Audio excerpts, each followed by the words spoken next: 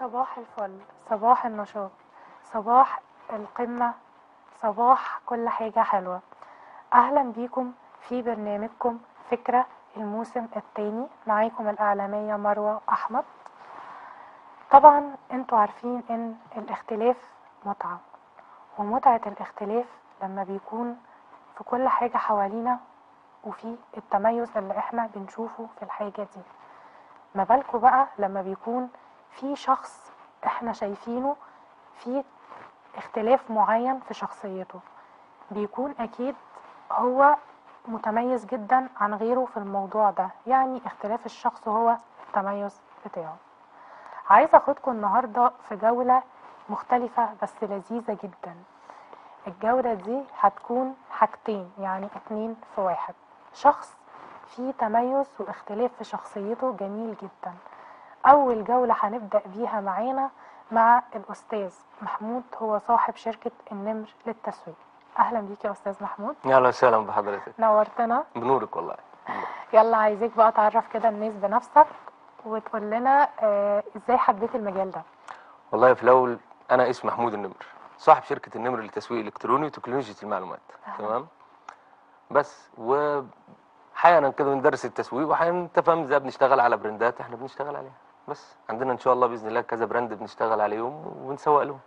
اتفضل. طيب احكي لي بقى كده في الأول آه، إيه اللي خلاك تدخل المجال ده أو يكون مفضل بالنسبة لك أو تشتغل فيه عموما؟ والله هو أنا من يومي بحب العلم تمام؟ وبعشق حاجة اسمها الكمبيوتر تمام؟ وجيت في مرة من المرات وإحنا قاعدين على الكمبيوتر برضه زي زي أي شاب بيخش على الفيسبوك وكده يعني جرب إن أنت تتعلم جرب إن أنت مثلا ادي فرصة لنفسك إن أنت تتعلم. بصيت على مجال التسويق دخلت فيه كله برمجيات وكله تعليم و- و- كده يعني. بس حبيت الموضوع من 2016 والحمد لله رب العالمين اهو تميزنا فيه بدرجه حلوة. بس أنا هقول لك حاجة الأيام دي بالذات موضوع التكنولوجيا والتسويق بقى منتشر جدا. تمام. إزاي أنت شايف إن أنت ممكن تقدر تنجح بسهولة في الموضوع ده أو توصل للناس؟ والله عن طريق قنوات التسويق عن طريق شغلي أنا. تمام؟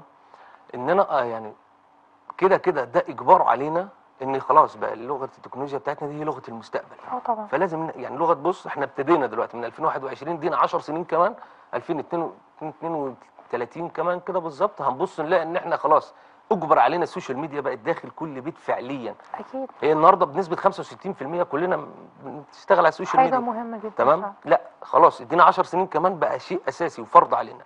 فلازم إن إحنا واجب علينا إن إحنا العلم من دلوقتي. أنا واحد من الناس أنا تميزت مثلا في نقطة التسويق بس. كعلما وكنشاطا. طيب شركه النمر للتسويق أستاذ محمود إيه اللي يقدر كده يقدمه للجمهور بتاعنا آه، من خلال شركته؟ بص إحنا إحنا عندنا حاجة دايما بنشتغل عليها. إحنا مش بنسوق لمنتج أو بنسوق ل brand وبس وبنستكفى بهذا الأمر لا إحنا كفيلين بصناعة ال brand ولله الحمد. يعني إحنا مثلا ممكن نمسك brand ما حدش يعرفه. إحنا صح. نخلي ال brand ده يعني ولله الحمد مكان ما هو عاوز يوسع الانتشار بتاعه ولله الحمد ممكن أخليه له بالجمهور المستهدف بتاعه.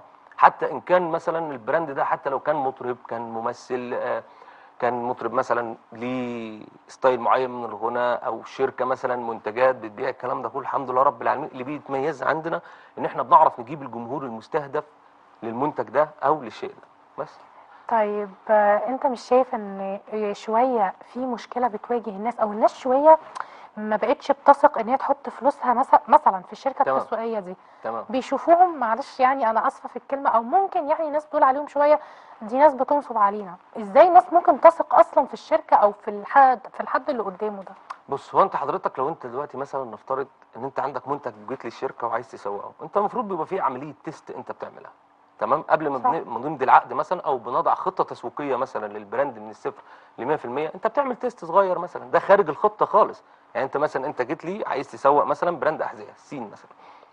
فأنا بحط لك خطة كاملة إن إحنا نقدر يعني خلال ثلاث شهور أو ست شهور أو سنة ونقدر نتعدى الحدود دي كلها. بس قبل ما بنبتدي الخطة دي كلها أنت ليك عندي test صغير. وأنت بتشوف بقى. هل في ال test ده هقدر أكمل معاك ولا مش هكمل؟ من هنا أنا بحكم عليك. طب أنت ما عندكش تسويق للبرامج؟ كمان علمنا برنامجنا كده يا أستاذ محمود. لا طبعا عادي جدا. من أسهل حاجة عندنا على فكرة. طب دي حاجة كويسة والله إن أنت معانا. النهارده بقى تعلمنا البرنامج. على فكرة أسهل حاجة جدا لأن إحنا دايما يعني بنتميز إن إحنا نجيب الجمهور المستهدف أنت ممكن تروح لشركة مثلا أو بعض إلا ما رحم ربي طبعا ممكن تروح لشركة. أنا عندي أحذية ممكن تودي الإعلان الممول بتاعك سواء كان على الفيسبوك مثلا أو على اليوتيوب ممكن توديه لحد. مش محتاج أحذية. آه طبعا. وده اللي بيختلف عنده. إحنا بنوديه للناس اللي فعلا محتاجة إن هي تشتري الأحذية سواء كانت رجالي أو نسائي مع دراسة الجمهور طبعا. طب أنت شايف إن في مشكلة ممكن تواجهك أنت في الموضوع ده؟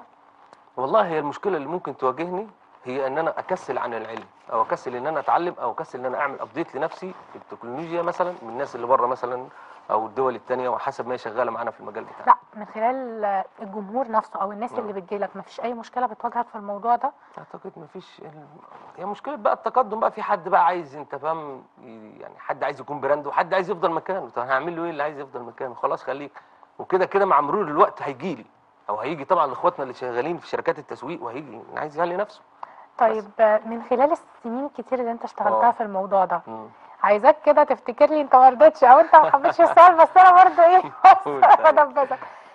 ممكن أكيد في حملة أو اعلان معين يعني انت كان الاعلان ده وصل لناس كتير جدا وحقق بالنسبة لك ربح انت أكيد فاكره أكيد لسه في دماغك. كان أكيد آه.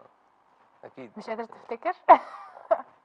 لا أنا فاكر عادي يعني. أكيد أنت عملت طبعا إعلانات كتير وحملات كتير وحاجات كتير بس أكيد في حاجة معينة يعني إحنا غير غير؟ الإعلانات غير الموضوع الناس كلها فاكرة إن الموضوع موضوع إعلانات. لا هي غير الإعلانات يعني نفترض مثلا حضرتك اسمك مروة آه. صح؟ أستاذة مروة مثلا أستاذة إعلامية. مثلا نفترض إن أنا عايز أبحث عنها في جوجل مثلا. أو أنت مثلا خش ابحث عن الشركة بتاعتنا. إحنا إزاي موجودين؟ يعني إزاي شركة النمر للتسويق الإلكتروني إزاي موجودة؟ مجرد إن أنت بس ما تكتب شركة النمر مثلا أو تكتب شركة تسويق عقاري أو تسويق مثلا أنت بتسوق في كل حاجة صح؟ آه، عشان بس بتبين طبعا. للجمهور. هي كلمة تسويق كل حاجة. كل المشتمل. يعني أنت بس مش مش اللي هو مثلا مقتصر على حاجة معينة صح؟ أي حد يا جماعة عايز يلا على يعني بصوا على مسؤوليتي سواء أي حاجة. عندنا الأستاذ محمود طبعا. لا كفيلين كمان بصناعة ال brand. حاجة طبعا إن أنا. أمسك لك كلمة في قلب جوجل. طبعا طبعا يعني يعني فكرة إن انت إن أنا أخش أبحث عن أي حاجة أنت تطلع ضمن النتائج البحث اللي بتحصل في جوجل أو تحصل على search ياهو أو تحصل على search بنج مثلا. الحاجات دي إحنا برضو كلها بنشتغل عليها إحنا ما بنشتغلش بس على اعلانات مموله لأ؟ إحنا بنشتغل على الكلام ده كله وبندي أفكار تساعد ال brand ده إزاي يكبر. ما هو الفكرة. مش فكرة إن أنت بتجيب لي مثلا منتج وأنا بعمل لك عليه إعلان ممول وخلاص بعت أو ما بعتش. أو افترقنا أو لأ. أنا ما أنا ممكن يكون عندي أفكار تحفيزية للمنتج ده وأقول لك المنتج ده محتاج مثلا إن أنت تنزل له gift مثلا تنزل له هدية بس عارف يا أستاذ محمود أنا. عايزة أقول لك حاجة قبل. يعني ما ناخد فاصل ونرجع تمام إيه في فعلا أنا جربت ناس كتير فعلا لو أنا مثلا عايزة أسوق لحاجة معينة وناس صحاب ليا آه. عارف كانوا أول حاجة أي حد أي شركة تسويقية أو أي شخص يقول لهم إيه حولوا لي مبلغ كذا أنا عايز أهم حاجة بيتكلموا فيها موضوع الفلوس ده الناس بتبتدي تخاف صدقني أه، بالنسبة لينا إحنا إحنا موضوع الفلوس ده بص هقول لحضرتك. إحنا بالنسبة للموضوع لأن إحنا ما بنشتغلش مثلا مش هقول ما بشتغلش مع أفراد صغيره بس خليني أنا أقول لك إن البراندات الكبيرة الشركات. أنا بقدم لك شغلي وأنت بتشوف شغلي. أنا عارف إن شغلي هيعجبك وأنا عارف إن أنت هتيجي تمضي معايا العقد يعني أنت فاهم إزاي؟ من غير ما أنا أقول لك بقى إيه حول لي وما تحولش. دي حاجة عشان ثقة في الله يعني لله الحمد ثقة في الله نجاح على خطى الناس الناجحين يعني. ربنا يخليك يا رب عايزة أقول لك أنا مبسوطة جدا طبعا بالكلام أنا معاك. مبسوط بيكم كلكم والله. ربنا يخليك. فاصل واستنونا يا جماعة.